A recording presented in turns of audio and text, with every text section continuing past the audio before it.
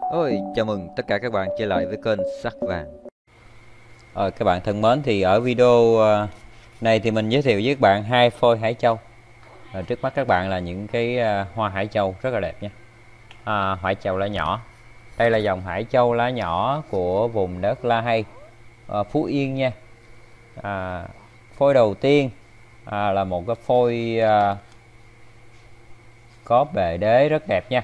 Bệ đế rất đẹp ha bệ đế là ok luôn nha. Ha. cây không có lỗi lầm.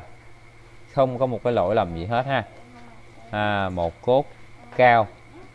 À.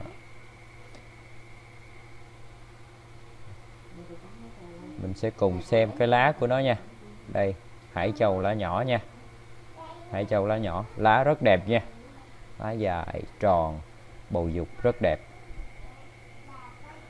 lá hình bầu dục rất là đẹp nha. À, hơi dài hơn thì nó còn lại là hai cái chốt này.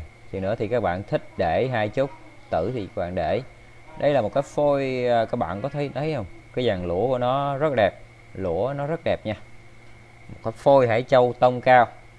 Hoành của nó là 43 cao là 1m05 đó. và nó lũa một bên ức rất là đẹp đây là một cái phôi mà phải nói rằng là chơi lũa rất ok. Rồi đến với cái phôi hải châu số 2 đây là một phôi hải châu có gân guốc rất là dữ nha các bạn. Đó, các bạn nhìn thấy cái bộ gân nó dữ dằn không? Gân ghê gớm không? À, ở dưới phần đó thì nó lũa một tí xíu ở ngoài da nhưng mà toàn bộ là cây là khỏe hết nha. Gân của nó ghê gớm không các bạn? À, hoành của nó là 57 hoành 57 nha. Và cái chiều à, cao của à, cái ngọn từ cái cổ rễ lên đó là nó 70 rất là đẹp. Bộ đế kìa. Thấy không? Các bạn về các bạn chịu khó các bạn để một bên các bạn ép đá vô một bên để lộ cái phần đế bên đây lên là cây nó sẽ rất là chuẩn luôn. Ha. bạn ký đá vô là cây rất chuẩn cái này thì uh, hai phôi này thì uh, mình giao lưu với các bạn với một cái giá đồng giá luôn.